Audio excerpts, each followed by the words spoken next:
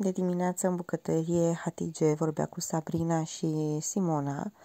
Era vorba despre Italia, spunea Hatige că a stat foarte mulți ani acolo și totuși nu a luat acel accent. Spunea că mai are câteva cuvinte pe care le spune în italiană, cum a fost atunci cu procentual, dar oricum, pentru că de mult timp a stat acolo, e ok, vorbește corect și românește.